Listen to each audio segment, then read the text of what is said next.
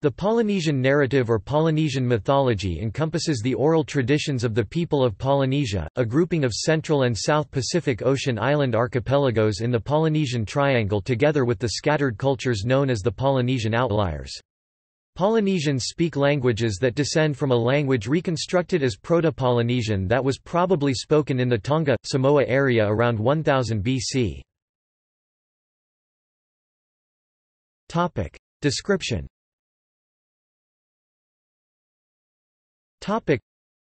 Prior to the 15th century AD, Polynesian peoples fanned out to the east, to the Cook Islands, and from there to other groups such as Tahiti and the Marquesas. Their descendants later discovered the islands from Tahiti to Rapa Nui, and later Hawaii and New Zealand. Latest research puts the settlement of New Zealand at about 1300 AD.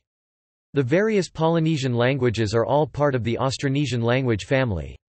Many are close enough in terms of vocabulary and grammar to permit communication between some other language speakers. There are also substantial cultural similarities between the various groups, especially in terms of social organization, childrearing, as well as horticulture, building and textile technologies. Their mythologies in particular demonstrate local reworkings of commonly shared tales. In some island groups, help is of great importance as the god of the sea and of fishing. There is often a story of the marriage between sky and earth. The New Zealand version, Rangi and Papa, is a union that gives birth to the world and all things in it. There are stories of islands pulled up from the bottom of the sea by a magic fishhook, or thrown down from heaven. There are stories of voyages, migrations, seductions and battles, as one might expect. Stories about a trickster, Maui, are widely known, as are those about a beautiful goddess, ancestress Hina or Sina. In addition to these shared themes in the oral tradition, each island group has its own stories of demi-gods and culture heroes, shading gradually into the firmer outlines of remembered history. Often such stories were linked to various geographic or ecological features, which may be described as the petrified remains of the supernatural beings. From oral to written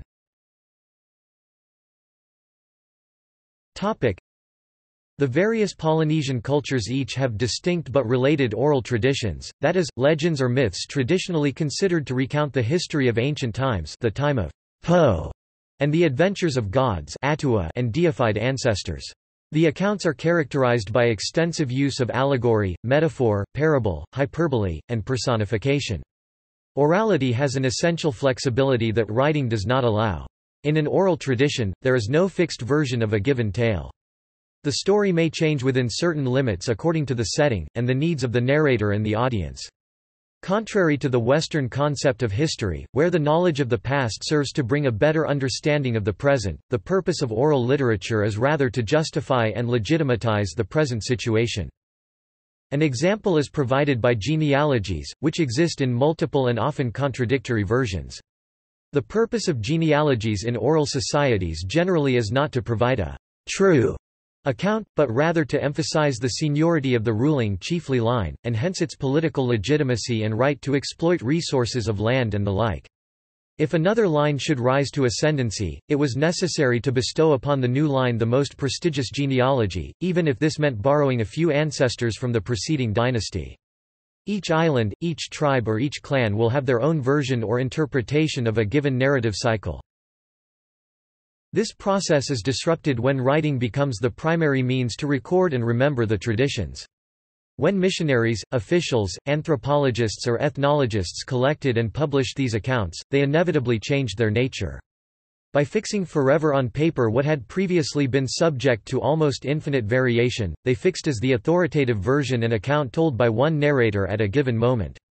In New Zealand, the writings of one chief, Wiremu te Rangikaheke, formed the basis of much of Governor George Grey's Polynesian mythology, a book which to this day provides the de facto official versions of many of the best-known Maori legends.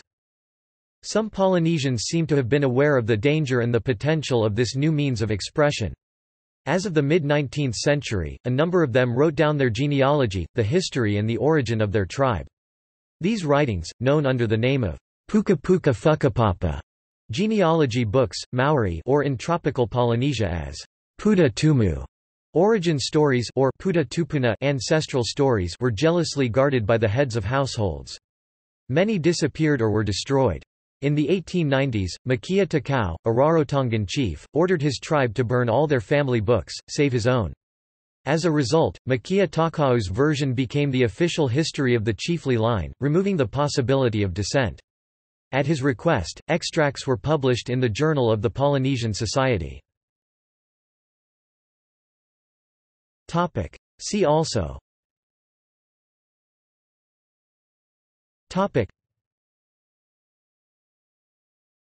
Topic. References.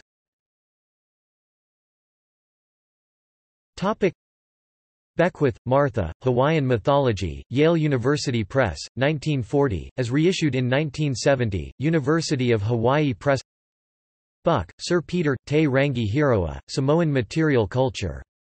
Bishop Museum Bulletin. Craig, D. Robert, Dictionary of Polynesian Mythology, 1989, Greenwood Press. Kirch, Patrick. On the Road of the Winds. 2000, University of California Press. Malo, David, Hawaiian Antiquities, first published in English in 1898, available as Bernice P. Bishop Museum Special Publication 2, 2nd edition, 1951.